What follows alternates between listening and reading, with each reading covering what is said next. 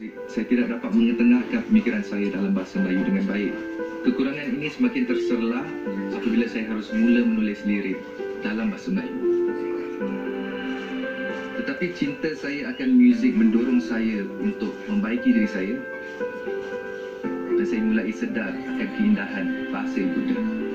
Sekarang saya boleh bertutur dalam bahasa Melayu dengan lebih lancar. Kukuhkan bahasa ibunda. Gunakannya dengan bangga. Thank you.